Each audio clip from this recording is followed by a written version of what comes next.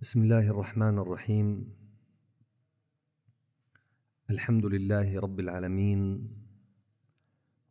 وصلى الله على سيدنا محمد وعلى آله وصحبه أجمعين ومن تبعهم بإحسان إلى يوم الدين. اللهم علمنا ما ينفعنا وانفعنا بما علمتنا وزدنا علما وعملا وفقها في الدين. يا رب العالمين رب اشرح لي صدري ويسر لي أمري واحلل عقدة من لساني يفقه قولي وبعد.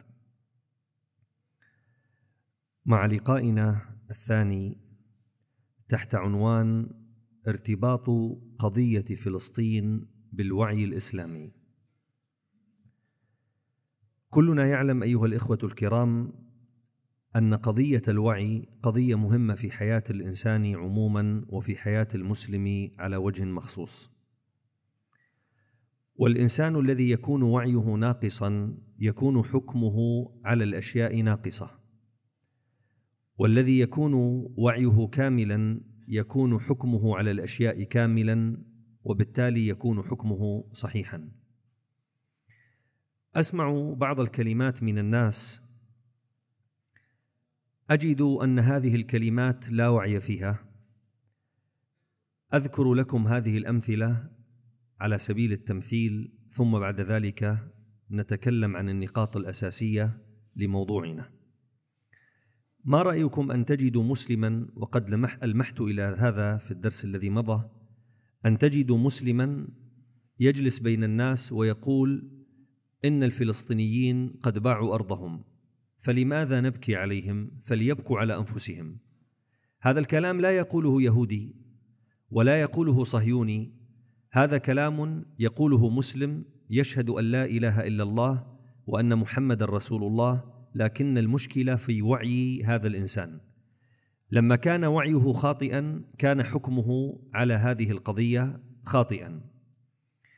سمعت مرة بعض من له صورة دينية من له صورة دينية يتكلم في درس له ويقول طيب ربنا سبحانه وتعالى يقول وإن جنحوا للسلم فاجنح لها.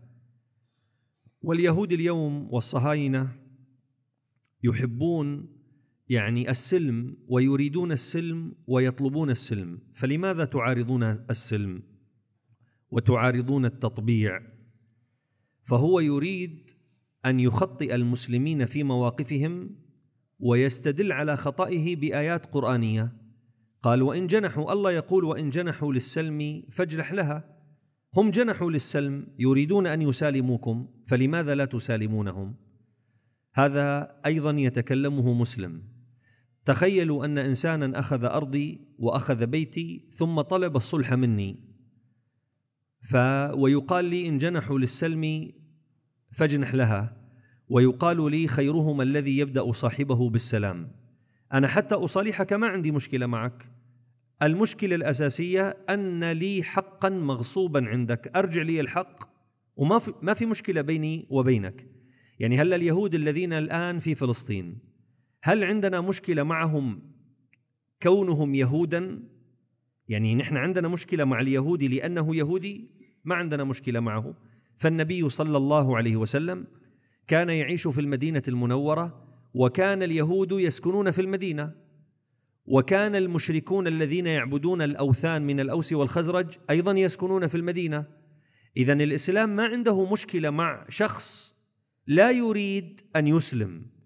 لكن نحن مشكلتنا مع اليهود لأنهم غاصبون لا لأنهم يهود. وهذا الفصل ينبغي أن نضعه في أذهاننا لأن البعض يقول طيب اليهود كانوا يسكنون في المدينة وكان بينهم وبين رسول الله صلى الله عليه وسلم مواثيق. والنبي عليه الصلاة والسلام أول ما دخل إلى المدينة كتب ما يسمى بالوثيقة. وهذه الوثيقة فيها أكثر من سبعين بند من بنود الدستور النبوي يذكر فيه النبي عليه الصلاة والسلام طبيعة العلاقة التي بيننا وبين اليهود. فهذا نبيكم عليه الصلاة والسلام كان مطبعا مع اليهود. تخيلوا يا اخواننا الكرام مسلم يقول هذا الكلام.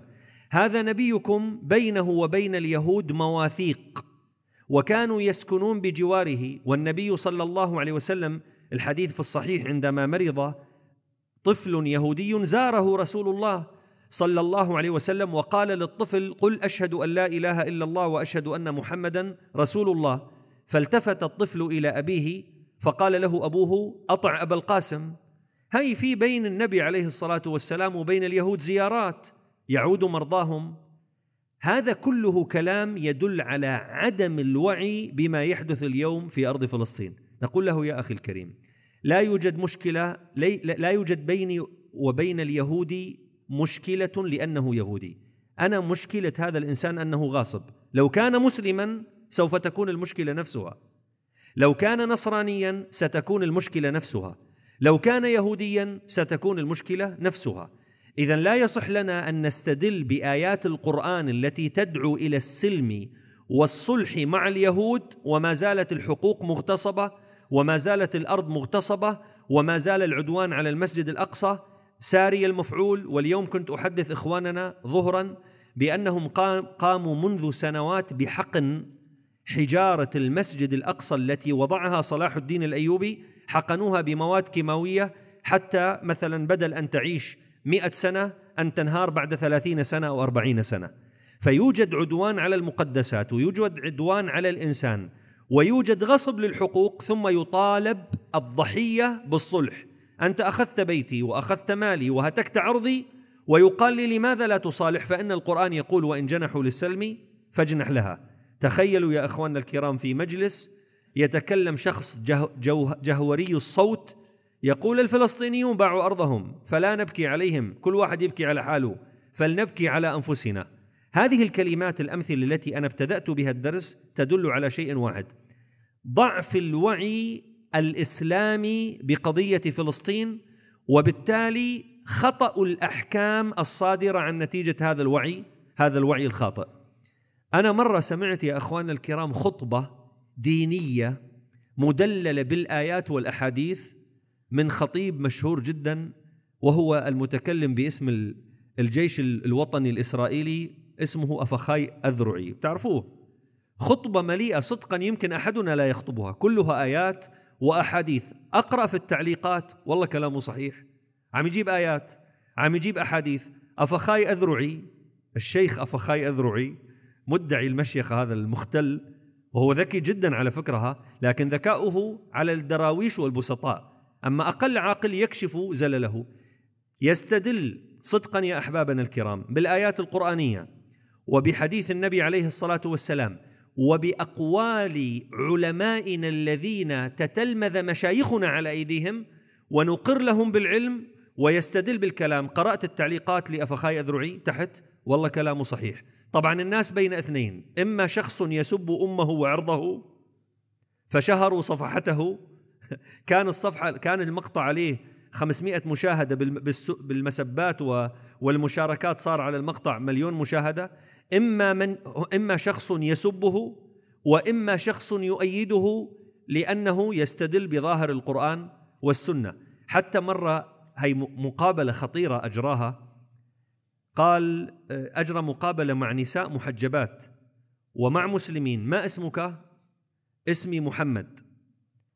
عضو آه، آه، عسكري أو جندي في الجيش الوطني الإسرائيلي. اسمي محمد أنا جندي في الجيش الوطني الإسرائيلي. ما اسمك؟ زينب. مسلمة مجندة في الجيش الوطني الإسرائيلي. ما اسمك؟ اسمي طوني. نصراني مجند في الجيش الإسرائيلي. صدقا يا إخواننا أجرى مقابلة مع أشخاص يقول لك لاحظ التعايش السلمي مع إسرائيل. عندنا من المسلمين محمد وزينب. حتى اليوم المسلمون ما عاد سموا أصلا زينب بس أتى بأسماء عريقة في الإسلام لها تاريخها في الإسلام واستدل على ذلك بأنه يعني هذا العلاقة بيننا وبينهم يعني علاقة جيدة. هذه الأمثلة التي ذكرتها تدل على ضعف الفهم والوعي فيما يرتبط بقضية فلسطين.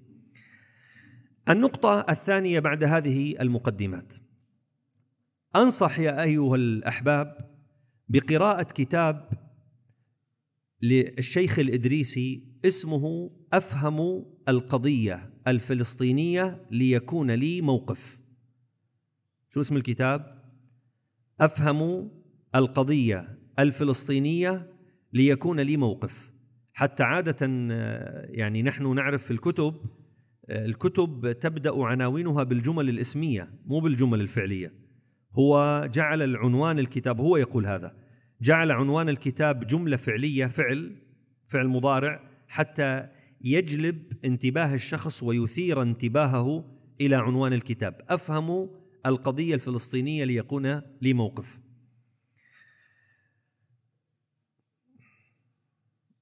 هي شغلتك طويلة بدي يتعبوك عطرني لك روح اقعد هون واسمع مني كلام. الله يجزيك الخير. زادك الله طيبا. طيب. الله يبارك فيك. بس مشان ما يتشوشوا. الله يحفظك. إن شاء الله بنعطرك بمكة. قل آمين. طيب. هذا صاحب الكتاب يا إخواننا. انتبهوا. شوفوا شلون المفاهيم المعكوسة. صاحب الكتاب الإدريسي يقول سافرت إلى إيطاليا ومعي عشرون نسخة في شنطة السفر من هذا الكتاب أفهم القضية الفلسطينية ليكون لي موقف. طبعا أمن المطار فتشوا فوجدوا إنه في كتاب يخص القضية الفلسطينية. شوفوا القضية شلون آه، يعني تقلقهم وتقض مضاجعهم. قال فأخذوه. مثل ضابط الأمن في المطار يسألونه. قال له هذا الصهيوني أريد أن أسألك سؤالا. ما الذي جاء بك يعني إلى إيطاليا؟ قال له عندكم جمعية في إيطاليا اسمها جمعية مناصرة الشعب الفلسطيني وهي جمعية آه، كونها أشخاص فلسطينيون مجنسون ايطاليا وهي جمعية مرخصة معترف عليها عندكم في إيطاليا. وين القانون؟ أنا ما خالفت القانون. فقال له هو صاحب الكتاب يقول قال لي هذا المحقق في المطار قال لي طيب طبعا المؤلف مغربي قال له يعني أنت لماذا تهتم بالقضية الفلسطينية؟ مع أن بين المغرب وإيطاليا مسافة طويلة جدا. قال له وأنت لماذا تسألني عن القضية الفلسطينية؟ مع أن بين إيطاليا وفلسطين مسافة طويلة جدا.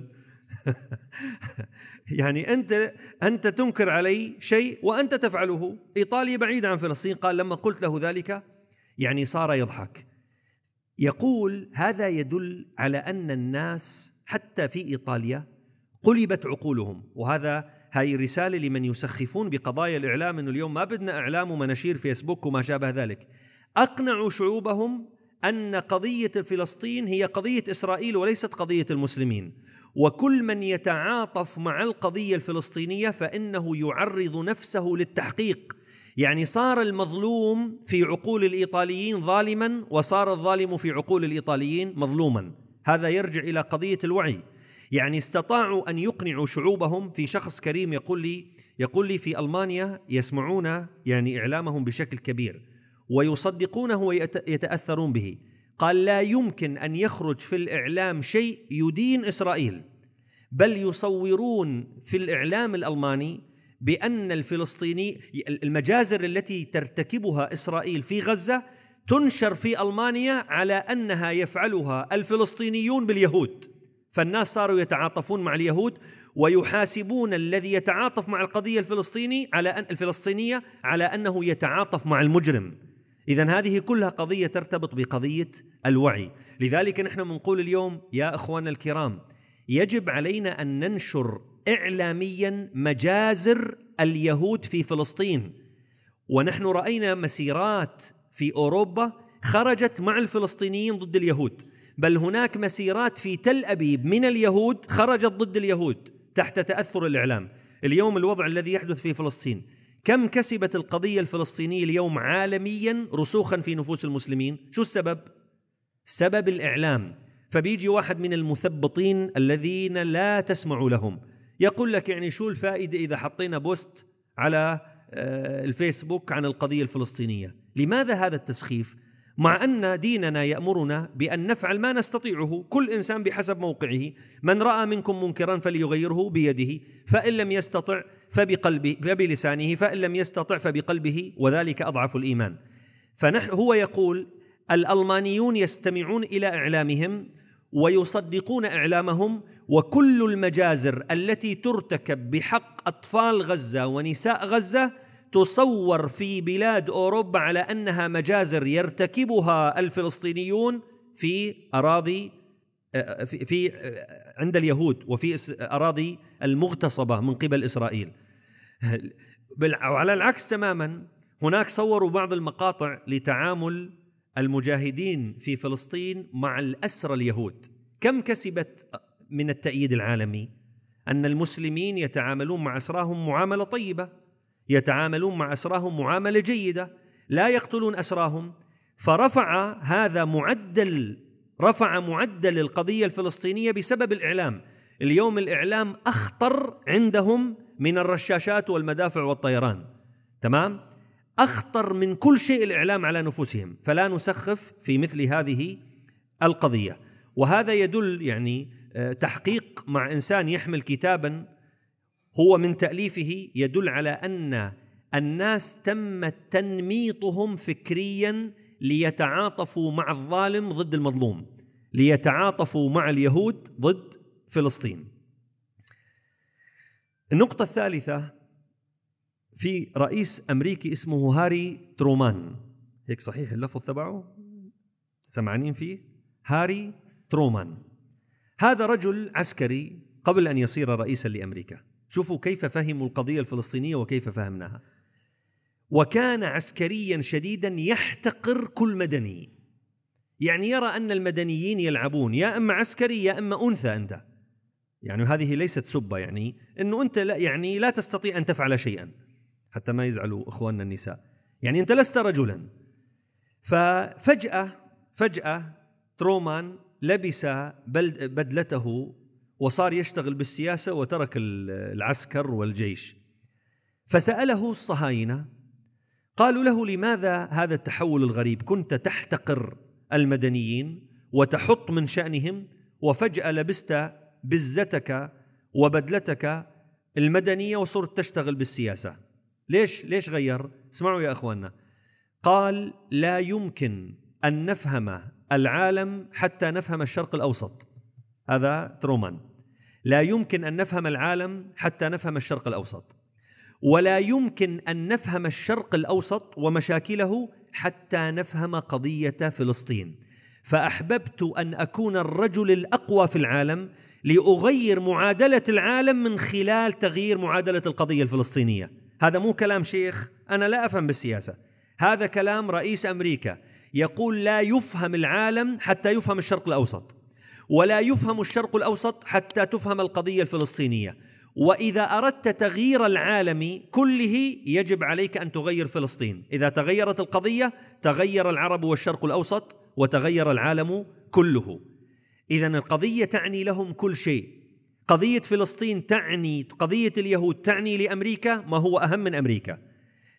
تعني للأوروبيين ما هو أهم من أوروبا لأن هذه القضية العظمى. والآن إذا قرأت بالتاريخ ما السبب الرئيسي للإطاحة بالسلطان عبد الحميد رحمه الله؟ شو السبب؟ اقرأوا تاريخيا. السبب الرئيسي للإطاحة بحكم السلطان عبد الحميد أنه كان حجر عثرة وكان سدا مانعا من بيع أي شبر من أراضي فلسطين. لذلك وجد اليهود أن أول أولوياتهم الإطاحة بالسلطان عبد الحميد حتى يقنعوا الآخرين بجواز بيع فلسطين. يا اخوانا الكرام الناس من بفلسطين منذ زمن البيت الذي ثمنه البيت الذي ثمنه خمسين ألف دولار يدفع للفلسطيني فيه ثلاثة مليون دولار مقابل أن يبيعه. تطميعا لهم خذ ما شئت وأعطنا بيتك. وتجد الفلاح والبسيط والجاهل والعالم والفقير والمريض. مع ذلك هم يفهمون أن بيع الأرض معناه طعن في خاصرة الإسلام. لذلك الآن سأذكر لكم فتوى الشيخ أمين الحسيني الذي نقل فتوى إجماع أهل عصره على كفر من باع شبرا من أرض فلسطين وعلى قتله حدا وردة. يعني مو بيع شبر من فلسطين إنه أخي هذا بيتي أنا بدي بيعه وبدي ما بيعه. أهل السنة والجماعة من أبعد الناس عن التكفير فإذا كفروا في قضية فاعلموا أنها قضية خطيرة. ينقل الشيخ أمين الحسيني في كتابه أسباب كارثة فلسطين يقول أفتى علماؤنا وخاصة علماء فلسطين ومعهم علماء العالم الإسلامي بكفر بكفر من باع شبرا واحدا من أرض فلسطين وإنه يعدم ويشنق في الساحات العامة على الملأ اليوم آه، لذلك الناس كانت ترتدع من قضية بيع فلسطين إما خوفا من التكفير والردة والإعدام وإما اعتقادا أن هذا الأمر لا يجوز فإن الله سبحانه وتعالى لا يرضى عن ذلك. صليتوا على حبيبكم.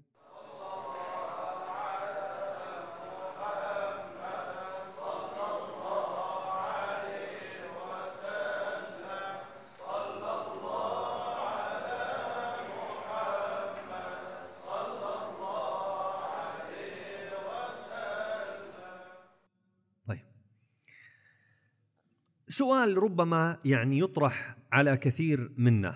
طيب نحن اليوم نحن اللي قاعدين بالمسجد ومن يشابهنا؟ ليس بيدنا القرار السياسي صح؟ ليس بيدنا القرار الاقتصادي صح؟ ليس بيدنا القرار العسكري. ليس بيدنا أي قرار من هذه القرارات التي نظنها مؤثرا صح أو لا؟ لكن اسمعوا يا أخواننا وضعوها في أعناقكم أمانة. نحن بيدنا ما هو أخطر من هذه القرارات الثلاث. بيدنا ما هو أخطر من القرار العسكري. ما هو أخطر من القرار الاستراتيجي. ما هو أخطر من القرار التكنولوجي.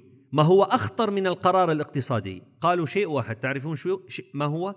توريث القضية الفلسطينية في ذاكرة الأجيال القادمة. أنا قلت لك اليوم الكلام الذي يشاع يريدون أن ينسى الشعوب قضية فلسطين.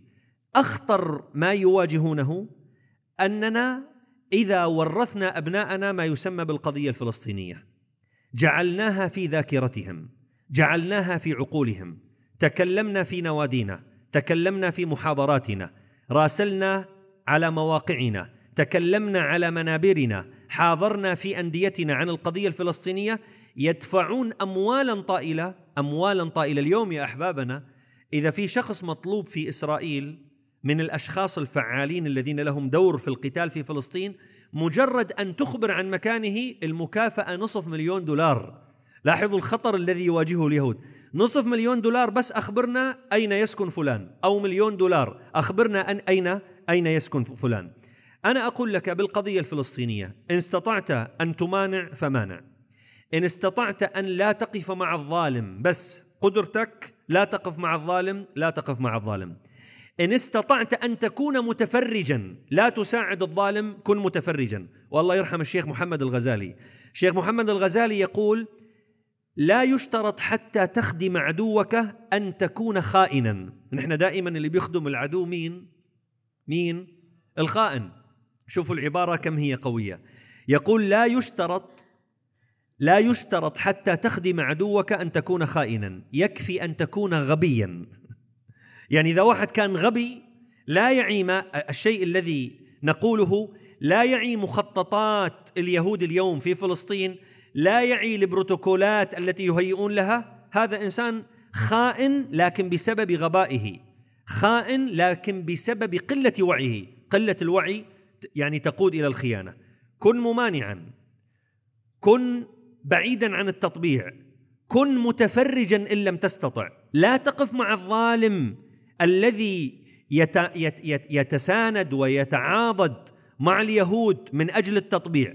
حاول أن تكون ولو متفرجا أنت تساهم في القضية الفلسطينية. ستقول لي أخي هذا قرار العاجز. نعم العاجز إذا استطاع أن يفعل شيئا بسيطا أفضل من أن لا أن لا يفعل شيئا. النقطة الخامسة يا أحبابنا الكرام أنا أريد أن أتكلم عن ثلاثة روابط تتعلق بالوعي في القضية الفلسطينية. أه، لا أريد أن أفصلها أريد أن أذكرها يعني بشكل مجمل. الرابط العاطفي والرابط الفكري والرابط التاريخي. هذا أقل أقل ما ينبغي أن يورث في عقولنا. رابط عاطفي رابط تاريخي رابط فكري. الحاج الذي ذكرته كثيرا أمين الحسيني رحمه الله تعالى مفتي القدس. في فرق بين من يتكلم عن قضية فلسطين وهذا أيضا له علاقة بالوعي وهو يعيش في لبنان أو يعيش في سوريا أو يعيش في مصر وبين من يتكلم عن قضية فلسطين وهو يعيش في فلسطين. من الأقدر على فهم القضية؟ هذا يسمى نحن عندنا رجل ميداني.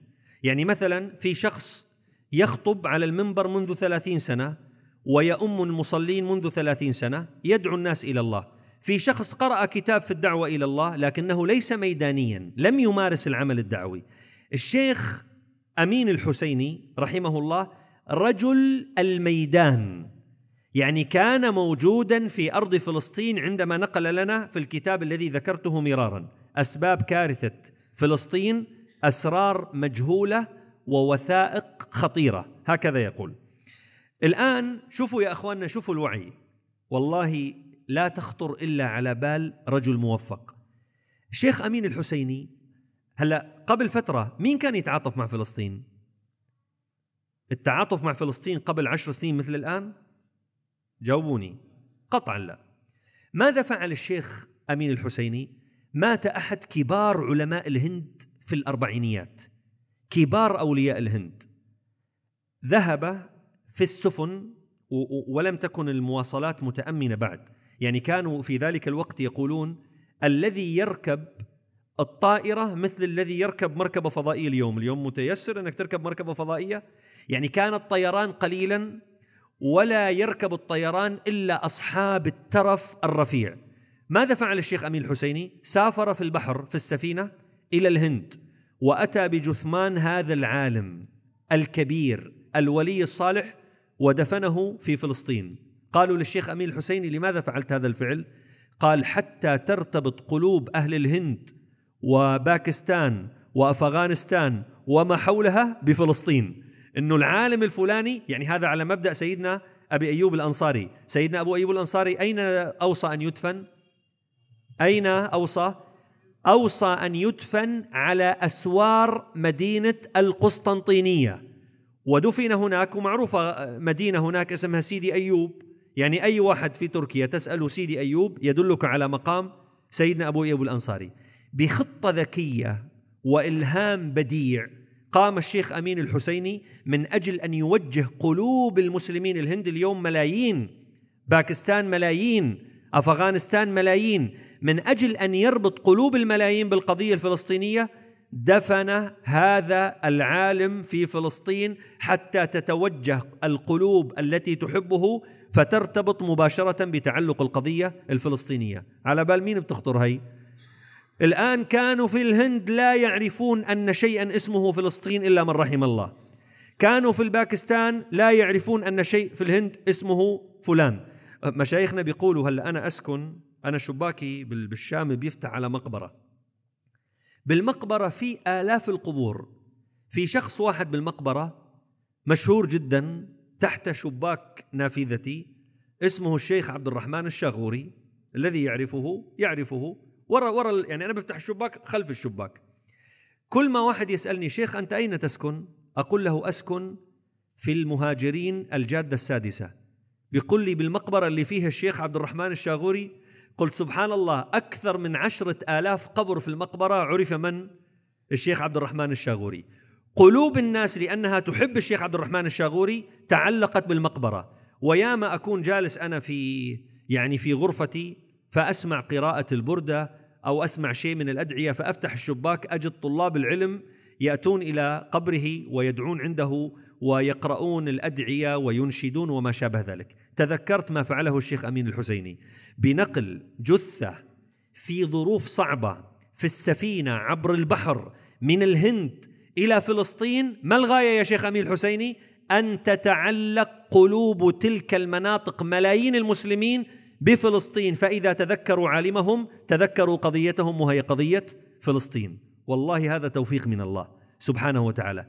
فنصرة القضية الفلسطينية بده واحد يصفن يسمع من غيره ويصفن. قد يخطر في بالك فكرة تنصر فيها فلسطين والمسلمين فيها لم تخطر على بال أحد من قبل. يعني هاي تكون شيئا مبدعا مخترعا لم يسبقك إليه أحد.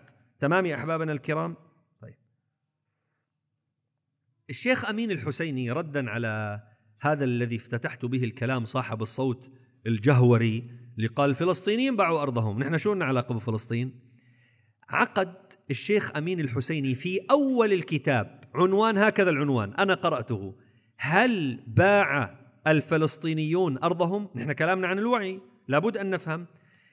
الشيخ أمين الحسيني يقول هناك أسماء خاصة، دققوا يا أحبابنا. باعوا بيوتهم اولا ليسوا من المسلمين. وعندنا هو شو سمى كتابه؟ أسرار مجهولة ووثائق خطيرة. قال عندنا أسماء من باع وعوائل البائعين. والمساحات التي بيعت. والزمن الذي بيعت فيه. والمكان الذي بيعت فيه. حتى ما حدا يقول باعوا دون أن يعقل. هذا رجل يتكلم من قلب فلسطين. قال عندنا أرشيف كامل لمن باع وكيف باع وكم باع وكم أخذ.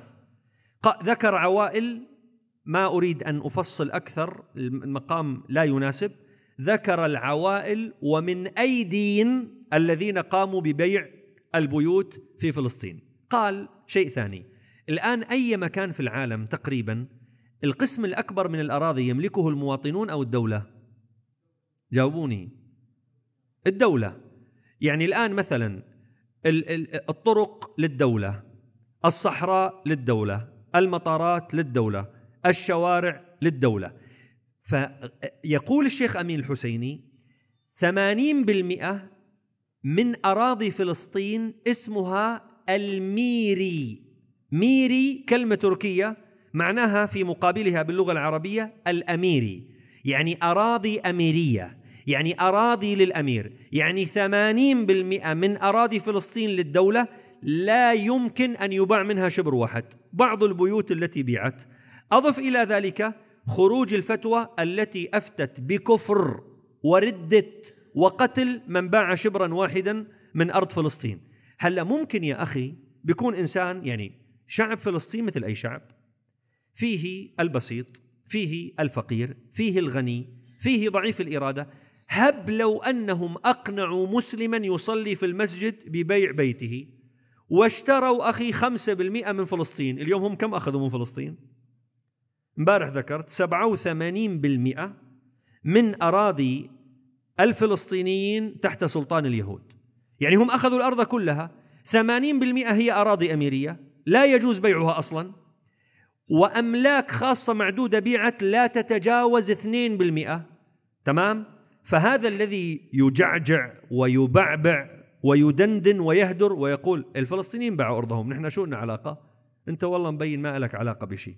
لا لك علاقة بالقضية ولا أنت قارع عنها ولا تفهم عنها شيء. لذلك أنا لما ذكرت العنوان يا أحبابنا ارتباط الوعي بالقضية الفلسطينية قضية تحتاج إلى قراءة. أنا ذكرت لكم الآن هذا سبب تاريخي. إحنا قلنا لابد أن أن نتعامل مع فلسطين بالبناء التاريخي البناء الفكري البناء العاطفي. هي قضية مرتبطة بالتاريخ.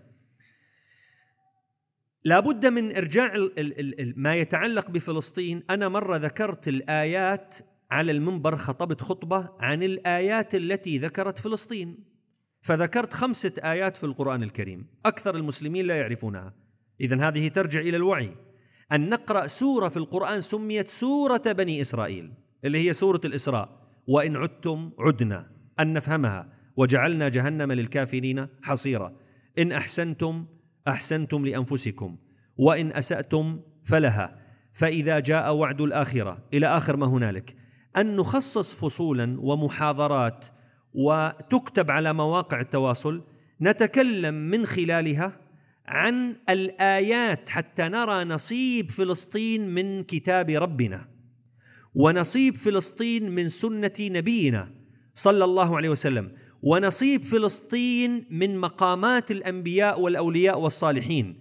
لابد من إرجاع هذه المعاني إلى الذاكرة حتى لا نسمع خطأ هنا وهناك.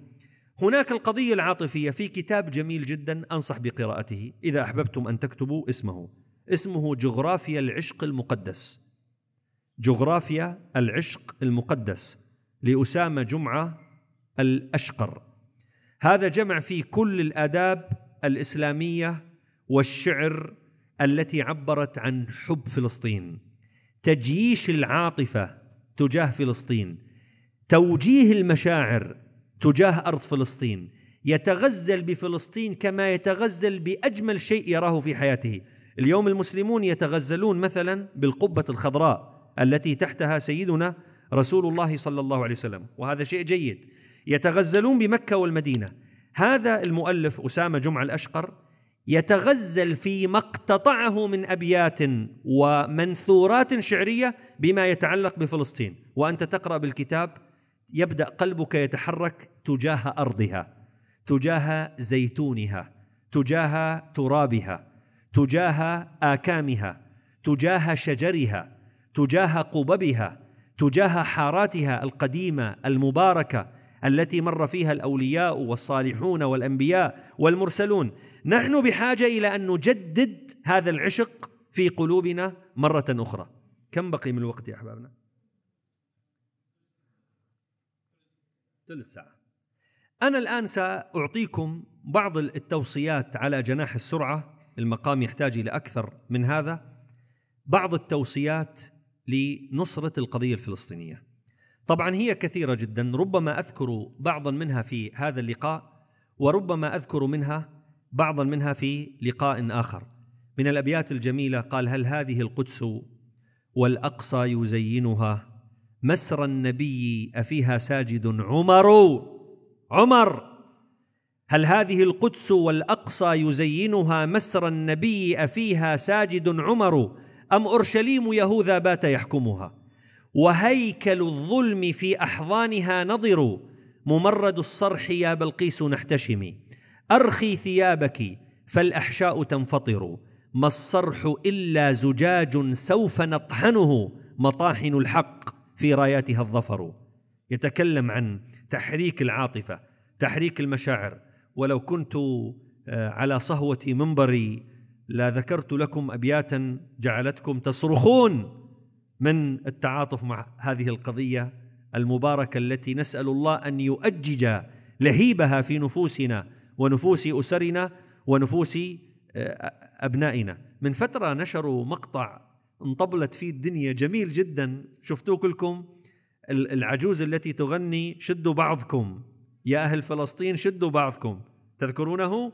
مقطع جميل جدا. نعم يحرك العاطفة يحرك القلب يحرك المشاعر. امرأة عجوز مخضرمة دخلت فلسطين في ذرات عقلها ولحمها ودمها خلطت بلحمها وعظمها. تتكلم كلام فعلا لا يجد المؤمن حين يسمع. صدقا أنا ما انتبهت إنه حاطين في المقطع موسيقى. عشان ما يقول لي واحد شيخ تسمع موسيقى. سبحان الله ما خطر في بالي. لكن هي تتكلم بلهجة بسيطة. شدوا بعضكم شدوا بعضكم. يعني اعتصموا بحبل الله جميعا. يا أهل فلسطين شدوا بعضكم. جميل هذا يحرك العاطفة. عاجز تقرأ كتاب تعال لسمعك هذه الأنشودة من هذه امرأة الميدان. طيب أنا عندي سبع توصيات سريعة. أولا تحصين الأمة خاصة الشباب والأطفال مما تخطط له إسرائيل من إفساد أخلاقهم.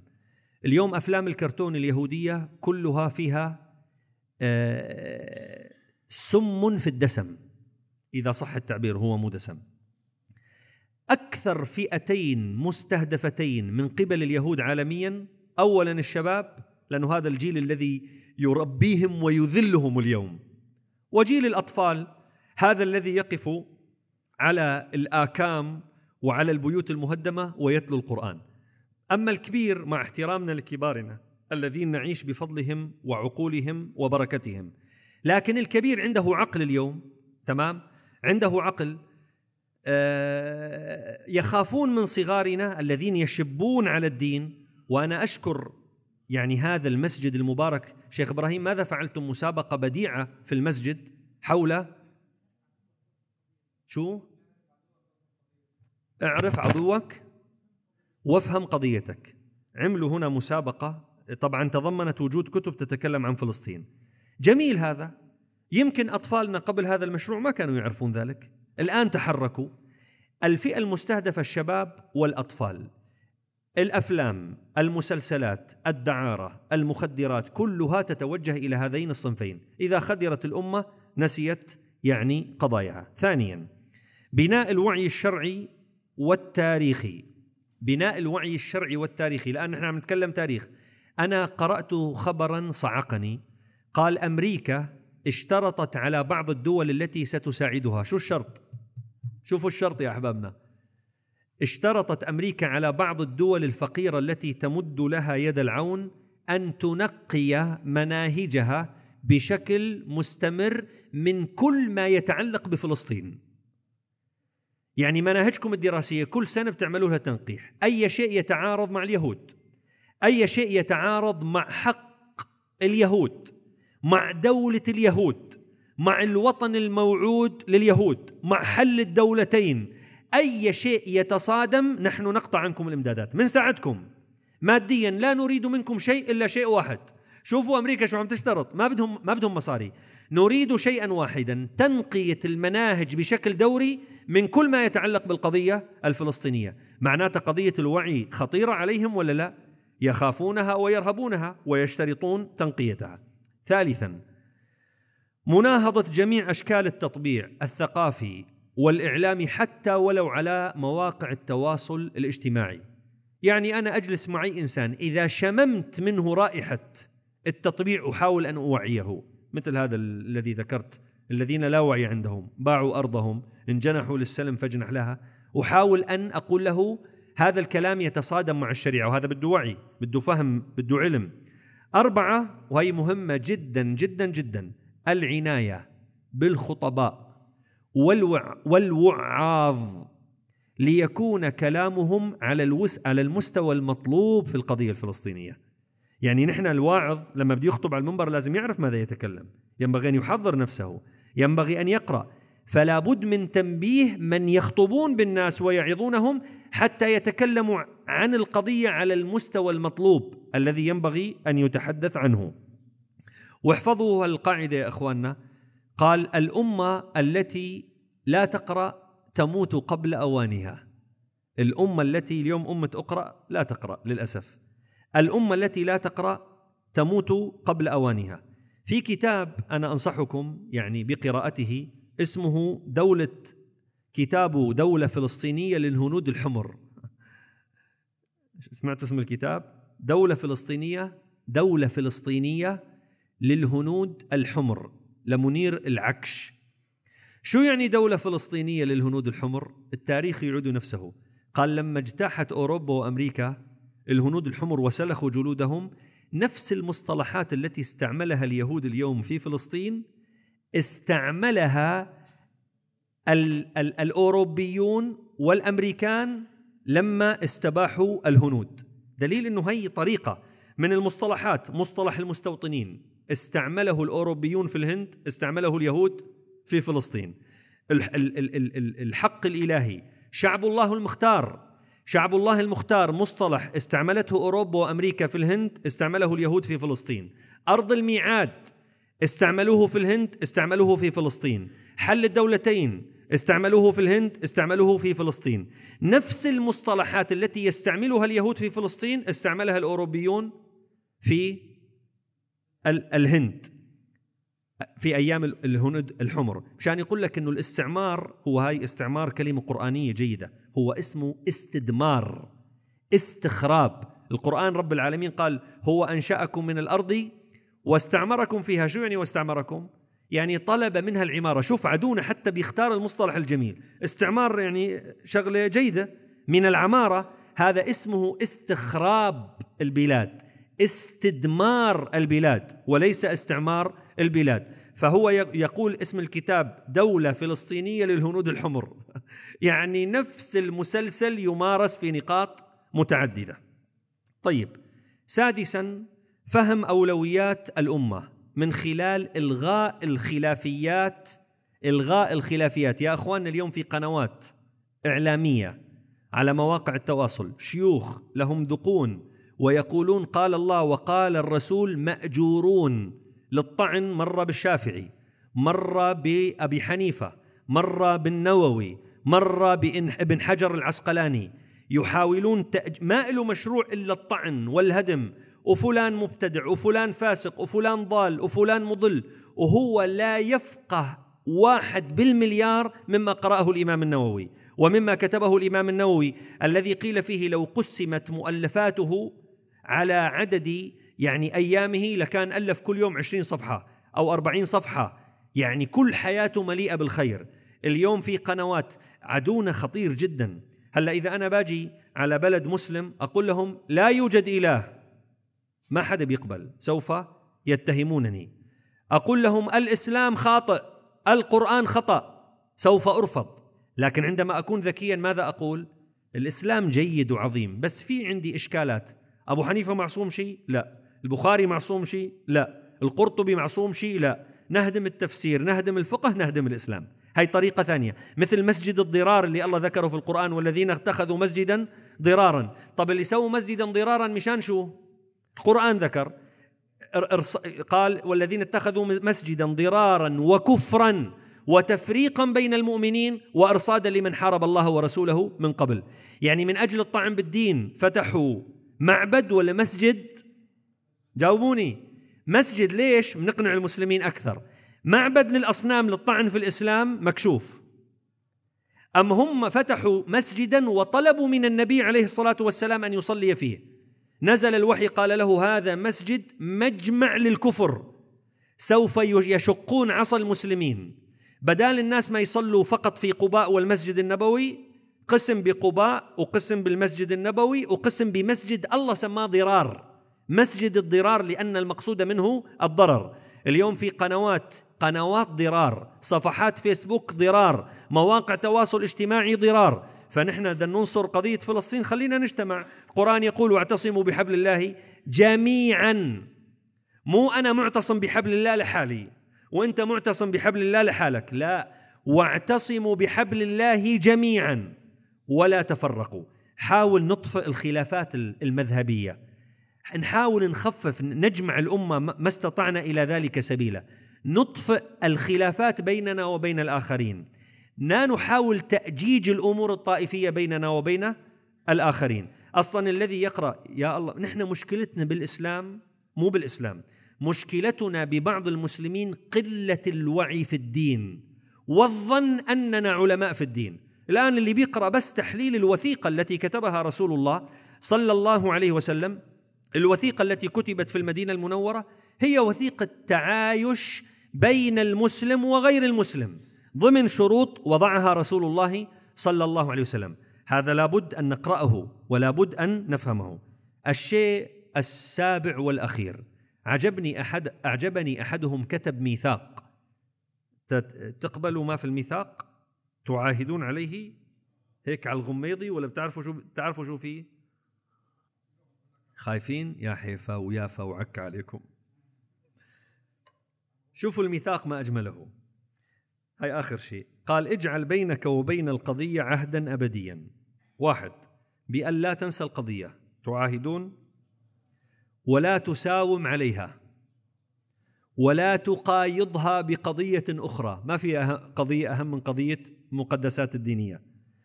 وأن تورثها لمن بعدك حتى يأذن الله بالفتح المبين. فطون. أربعة أن لا تنسى القضية. ولا تساوم عليها ولا تقايضها بغيرها وأن تورثها لمن بعدك أن تبقى فلسطين في ذاكرة أبنائنا حتى يأذن الله بالفتح المبين.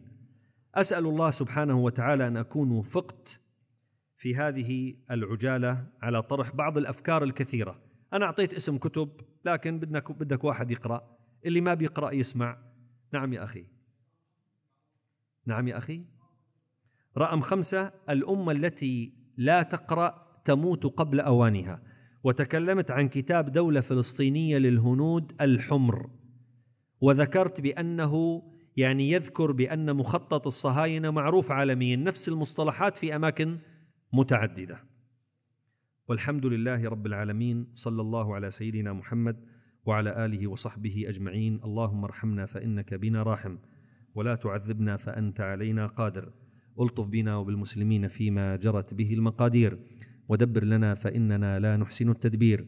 يا نعم المولى ويا نعم النصير.